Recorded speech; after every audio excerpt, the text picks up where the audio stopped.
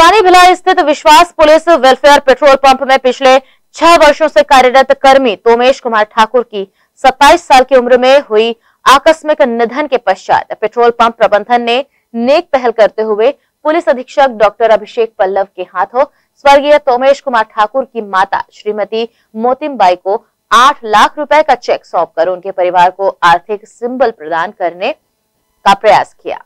विश्वास police welfare petrol pump के manager ASI Sheikh Mushtaq ने ग्रैंड एशिया न्यूज़ से पेट्रोल पंप की गतिविधियों से संबंधित खास बातचीत की।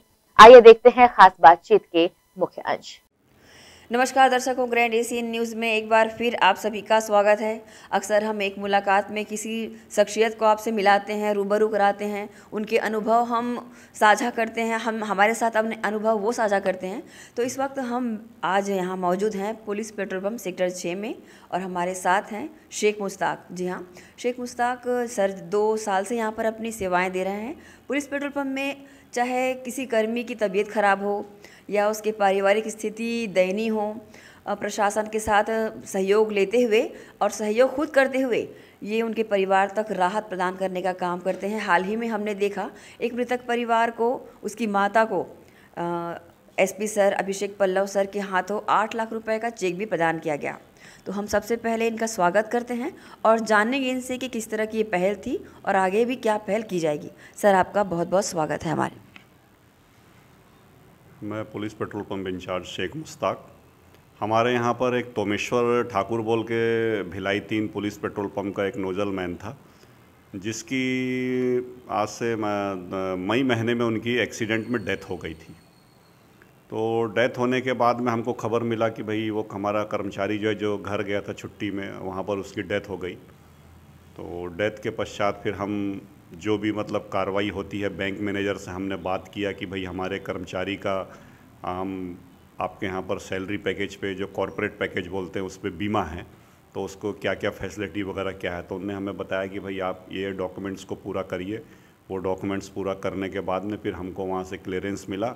मिल, क्लियरेंस हमको जब मिला, उसके बाद हमने उनके परिवार को बताया कि हम petrol pump, police petrol pump के माध्यम से सैलरी कॉरपोरेट पैकेज पे आपके बेटे का बीमा हुआ था। उसमें आपको आठ लाख रुपए मिलना है। तो वो सुन, इस बात को सुन करके वो काफ़ी शौक हुए और काफ़ी मतलब उनको ये भी हुआ कि मतलब जाने वाला तो चला गया, लेकिन एक पुलिस की एक अच्छी पहल के द्वारा उनके परिवार को हमारे वर्तमान एसपी साहब श्री अभिषेक पल्लव सर के हाथों से, उनकी माता जी को HDFC बैंक के माध्यम से आठ लाख रुपए का चेक उनको दिया गया। इसकी शुरुआत कब की गई थी? आपने बताया तात्कालिक जो एसपी थे उनके द्वारा भी इसमें काफ़ी पहल की गई थी। एक्चुअल में मेरे को इस पेट्रोल पंप में तकरीबन दो साल हो है, हो रहे हैं प्रभार में। और पहले मुझसे पहले मैं इन लड़कों की जो सैलरी थी दूसरे बैंक में जाया करते थे। उसके बाद हमारे एक परिचित हैं एचडीएफसी वाले वो हमसे मिलने के लिए आए थे और उनने हमसे कहा कि भाई आपके अंडर में तीन पुलिस का पेट्रोल पंप है तो आपके कर्मचारियों का जो सैलरी है, वो आप हमें, हमारे बैंक में भेजिए। तो उसको कॉरपोरेट सैलरी बोलते हैं। तो कॉरपोरेट सैलरी के बेस पे हम आपके सारे जितने भी प्राइवेट वर्कर हैं, उनका हम जो है बीमा करेंगे। चाहे नॉर्मल डेथ में हो, चाहे एक्सीडेंटल डेथ में हो। तो मैंने इस चीज़ को उस वक्त के तत्कालिक एसपी श्री प्रशांत ठाकुर सर जो वर्तमान में धमतरी में एसपी हैं, उनको मैंने बताया कि सर ये एक बहुत अच्छा स्कीम है और इस टाइप का लाए उनका इंश्योरेंस अपने कॉरपोरेट वेतन के बेस पे हो रहा है। अगर आपकी आज्ञा हो तो अपन इनका एचडीएफसी में खाता करवा करके इनको कुछ बेनिफिट दिया जाए करके।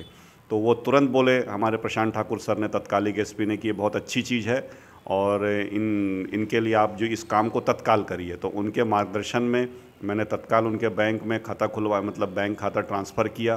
करने के बाद देखिए, आज उस चीज़ का फ़ायदा हमको दो साल बाद, आज जब जाने वाले बेचारे तो चले गए।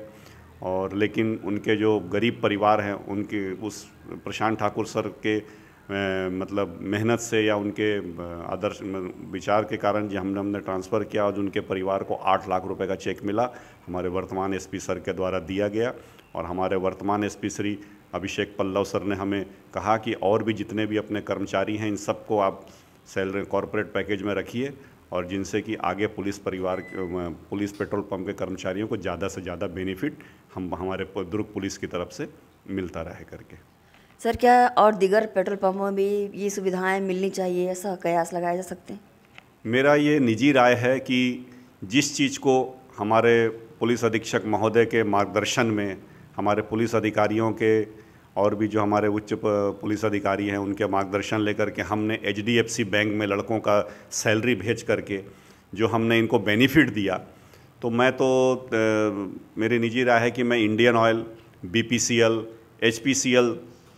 भी मैं उनके जो सेल्स अफसर हैं या उनके जो स्टेट हेड हैं, उनसे मैं बोलूँगा कि भाई निवेदन करूँगा कि आप लोग भी अन्य जो प्राइवेट पेट्रोल पंप हैं उनके भी आप ऑनर्स लोग को बोलिए कि आप अपने कर्मचारियों का, ऐसे बैंक में आप सैलरी भेजिए कि जो कॉरपोरेट बेस पे उनका बीमा हो जाए और कल के दिन खुदा ना खास्ता अगर कोई दुर्घटना घटे तो कम से कम एक उनके एक परिवार को एक छोटी सी अपन सपोर्ट या सहायता कर सकते हैं। ये मेरा बाकी तीनों पेट्रोल पंप के इंडियन ऑयल के अफसरों से निवेदन है कि आप इस ओर ध्यान दें तो ज़्यादा बेहतर रहेगा। शहर में लगभग तीन पेट्रोल पम्प जो संचालित होते हैं और सैकड़ों यहाँ कर्मी काम करते हैं। कोरोना काल में भी ऐसा देखा गया, खुद मैं भी फ़ील्ड के दौरान इस पेट्रोल पंप से गुजरते हुए देखी कि कई परिवार में कोविड के पेशेंट पाए गए, कई कर्मी भी पॉजिटिव पाए गए। पेट्रोल पंप की तरफ़ से किस तरह की उनकी मदद की गई और अगर आर्थिक मदद की बात की जाए तो भी काफ़ी पेट्रोल पंप से सहायता की गई थी। ये पहल कैसी थी, बताएँगे? जी, मैंने बताया कि मुझे इस पेट्रोल पंप में आए हुए दो साल हुए। तो मेरे तत्कालिक उस वक्त जो प्रथम एसपी साहब थे जब मैं आया था तब मिस्टर श्रीमान अजय यादव साहब थे जो वर्तमान में अभी आईजी स्तर के अधिकारी हैं। तो उनसे मैंने इन कर्मचारियों के बारे में बोला था कि सर ये हमारे पुलिस पेट्रोल पंप के कर्मचारी हैं और मैं चाहता हूँ कि कम से कम इनको हमारे पुलिस हॉस्पिटल में एक सुविधा दी जाए इनको और इनके परिवार को डॉक्टरी फैसिलिटी दी जाए। तो मेरी उस आ, मेरे उस आग्रह को हमारे तत्कालिक एसपी श्री अजय यादव साहब ने श्रीहर्ष स्वीकार किया और उनने एक आदेश निकाला कि ठीक है, पुलिस पेट्रोल पंप के जो कर्मचारी हैं, वो हमारे पुलिस हॉस्पिटल में आके परिवार के अपने परिवार को भी ला करके अपना इलाज करवा सकते हैं। उसके बाद जो कोरोना काल बीता, उस कोरोना काल में मेरे पुलिस पेट्रोल पंप के कर्मचारियों ने जी जान से मेहनत किया। तो हम उस वक्त चूँकि सेलिंग कम होता था, लेकिन हम 15 डेज़ का हम लोगों को पाली पाली में बुलाते थे कि 15 दिन आप आइए 15 दिन घर में रहिए, फिर दूसरी पाली वाले 15 दिन आइए, आप 15 दिन घर में रहिए। तो उस वक्त हमारे लड़कों ने बहुत अच्छा मेहनत किया। हमारे पुलिस के से चाहे लाइन आर आई साहब बोलिए, लाइन डीएसपी साहब बोलिए, माइक थ्री साहब बोलिए, एसपी साहब बोलिए सबने हमको सपोर्ट किया और हमें बड़ा बार बार मार्गदर्शन मार्गदर्शन देते रहे कि बच्चों से बोलिएगा कि भाई सैनिटाइज़र यूज़ करें, मास्क यूज़ करें, उनका गाइडलाइन हमको मिलता रहा अधिकारियों का। और हमने वो समय बड़ा सफलता से गुजारा। इसी बीच हमारे sector six police petrol pump में एक नोज़ल मैन था राजू बोल करके उस वो कोरोना ग्रसित हो गया था। उसको फिर आप रा, राजनांदगांव हॉस्पिटल में उनको फिर ट्रीटमेंट के लिए भर्ती किया गया। उनकी पत्नी के द्वारा फिर बताया गया कि इस टाइप का है सर और हमें पैसे की ज़रूरत है आर्थिक प्रॉब्लम है। हमने अपने उस वक्त के तत्कालिक एसपी सर को बताया। और तो उनने भी कुछ मदद किया। हमने अपने कर्मचारियों को बताया तो तीनों पेट्रोल पंप के कर्मचारी आगे आए और हम लोगों ने सब मिल कर के कर्मचारी मिल कर के अधिकारियों ने भी हमें सहयोग किया, ऐसे करके हम लोग उनको सत्तर से अस्सी हज़ार रुपये दे करके उनकी मदद करें और आज वो लड़का हमारे बीच में अच्छा खासा भगवान की मेहरबानी से नौकरी कर रहा है। बहुत अच्छी पहल थी सर, ये पेट्रोल पंप की और कर्मचारियों की और ख़ास कर आपकी भी। बीच में देखा गया था, एक कार आकर रुकती है। अज्ञात लोग उसमें से उतरते नहीं हैं, लेकिन पेट्रोल डलाकर फर्राटे से फिल्मी स्टाइल से भागते हैं। इसका पटाक्षेप भी काफ़ी हद तक आपने किया, सबको जागरूक भी किया। मैंने पेपर में देखा और मैंने खुद न्यूज़ ही बनाया था, उस दौरान आपने काफ़ी सजगता से काम किया। कैसा था वो दौर और किस तरह की लोगों में जागरूकता लाई गई और क्या वो लोग पकड़ में आए? देखिए, ऐसा है कि जिस व्यक्ति के मन में छल कपट हो तो उस व्यक्ति को तो कुछ कह नहीं सकते, लेकिन जो छल कपट वाले व्यक्ति हैं, अक्सर ये नाइट में आते हैं, रात के समय आते हैं, क्योंकि हर पेट्रोल पंप, कोई भी पेट्रोल पंप जो है, रात को दस, साढ़े दस बजे सुनसान हो जाता है। तो अक्सर कई प्राइवेट पंपों में भी हुआ, हमारे पंप में भी आए थे गाड़ी लेकर के, पेट्रोल उनने डलाया बोला कि भाई पेट्रोल डालिए, डालने के बाद फिर वो डाले और डालने के बाद वो बिना नंबर की गाड़ी थी, बिना पेमेंट किए चले गई। तो उस चीज़ को हमारे द्वारा वरिष्ठ अधिकारियों को बताया गया। फिर कुछ दिन बाद फिर वो जो बंदा था, जो इस टाइप की कई पेट्रोल पंप में हरकत किया था, वो फिर हमारे दुर्ग पुलिस की सजगता से उनको फिर पाटन पाटन क्षेत्र, उतई क्षेत्र से उनको पकड़ा गया। और अभी हम अपने लड़कों को बता दिए हैं कि भाई कोई भी गाड़ी पुलिस पेट्रोल पंप के अंदर में, हमने तीनों पेट्रोल पंप के कर्मचारियों को बता दिया है कि कोई भी कार रात के समय या दिन के समय बिना नंबर प्लेट के आती है तो आप उसको पेट्रोल नहीं देंगे। आप उनको पेट्रोल नहीं देंगे। क्यों? क्योंकि आपके साथ में कुछ भी हादसा हो सकता है।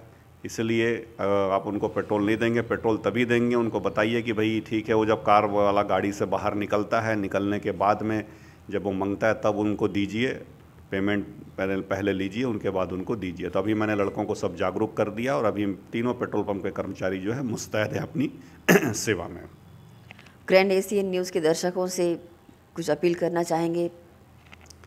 ग्रैंड न्यूज़ के दर्शकों से मैं अपील करना चाहूँगा कि जैसा हमारे भिलाई और दुर्ग शहर की जनता हमारे police petrol pump sector six Nevai Bhilai तीन पे अपना विश्वास कायम रखी है और हमारे सेक्टर सिक्स पेट्रोल पंप को छत्तीसगढ़ में कई वर्षों से नंबर वन का तमगा भिलाई दुर्ग की जनता ने दिया है। मैं ग्रैंड न्यूज़ की तरफ़ से, मैं दुर्ग भिलाई की जनता को 26 जनवरी की हार्दिक शुभकामनाएँ देता हूँ और मैं उनसे निवेदन करता हूँ कि भिलाई दुर्ग की जो शांति कायम है, इस शांति को कायम करने के लिए आप सब हमें मदद करते रहें। इसके लिए मैं आपसे निवेदन और कामना करता हूँ मैं। सर, आपका बहुत बहुत धन्यवाद। शुक्रिया। तो ये थे एसआई शेख मुश्ताक दो वर्षों से यहाँ पेट्रोल पंप में अपनी सेवाएँ दे रहे हैं। कर्मियों के हर सुख दुख को अपना समझकर साझा ये लोगों के साथ करते हैं। किसी हद तक उनकी समस्याएँ दूर करने का प्रयास भी लगातार ये करते हैं।